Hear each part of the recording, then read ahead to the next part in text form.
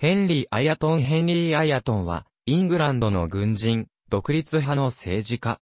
新教徒革命期の軍人であり、1642年のイングランド内戦勃発時に議会派として参戦。オリバー・クロムウェルを支持し、独立派のスポークスマンとして対外折衝に活躍した。ジェントリー出身で、オックスフォード大学と法学院に学んだが、1642年にイングランド内戦が始まると、ピューリタンとして議会軍に身を投じ、10月のエッジヒルの戦いと1644年7月のマーストン・ムーアの戦いに参戦し、応答派と戦った。1645年6月14日のネーズビーの戦いで左翼を受け持ったが、国王軍右翼のカンバーランドコールパートに左翼を破られ、自身も捕虜になってしまった。しかし、議会軍右翼のオリバー・クロムウェルと中央のトーマス・フェアファクスが選挙区を逆転勝利に導いたため、戦後クロムウェルに救出された。同年下院議員に選出され、翌1646年に、クロムウェルの娘であるブリジットと結婚。第一次イングランド内戦は、議会派が勝利したが、戦後の対応をめぐり、長老派と独立派に分裂し、対立、ニューモデル軍でも平等派と独立派に分裂し、平等派が急進的な政治改革を要求し出した。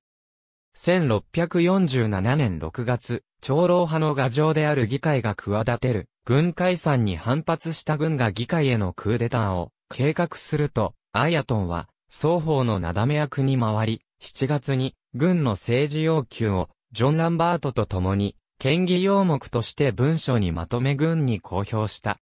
憲法草案とも言うべき内容は、会員解散で新たな議員選出、納税額に応じた、選挙権、分配、2年に1回の議会開催など、軍の要求を明文化するが、王政は存続させるが軍事外交は制限されるべき。今後は、議会が、軍指揮権と、官僚任命権を持つとする議会の権限拡大も、盛り込んだ。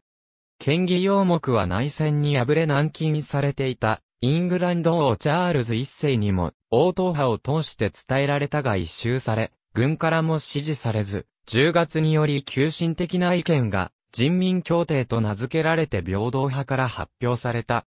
独立派に属するクロムウェルは穏健派で過激な改革を望まず軍の分裂も避けたい方針で、彼に同調するアイアトンは、両派の妥協を探り、かつ、クロムウェルの代弁者として平等派による審議会についてのパトニー討論に出席した。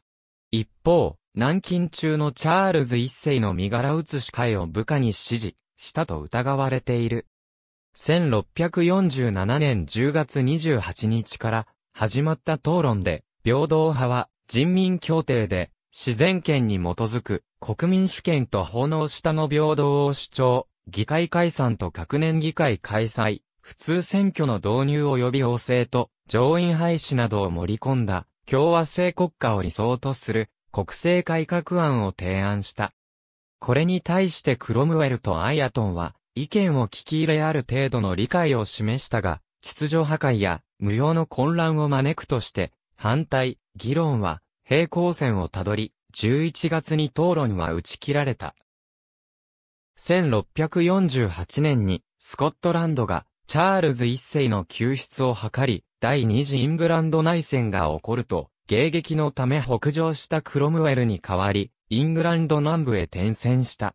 同年、チャールズ一世裁判の裁判官として、死刑判決書に署名。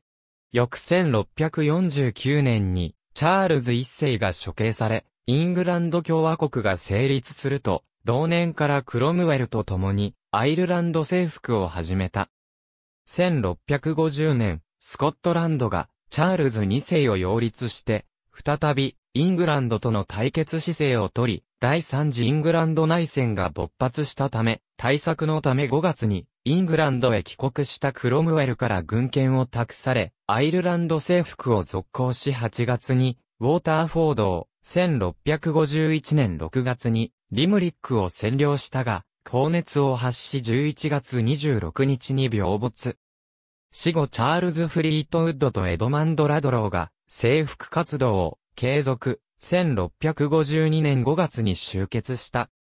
遺体は、ウェストミンスター寺院に埋葬されたが、1660年の王政復古で、共和制に対する反動が巻き起こり、翌1661年に、クロムウェルの遺体と共に墓を掘り起こされ、大殺しの一人として、タイバーンで斬首刑にされた。ブリジットとの間に一男四女を設けた。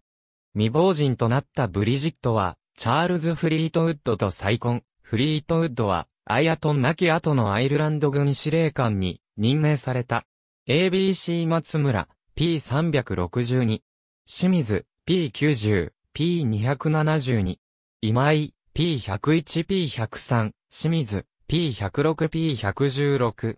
今井、P103、P111。清水、P116、P120。今井、P124、P153、P160。清水、P164、P170、P171。清水、P262。ありがとうございます。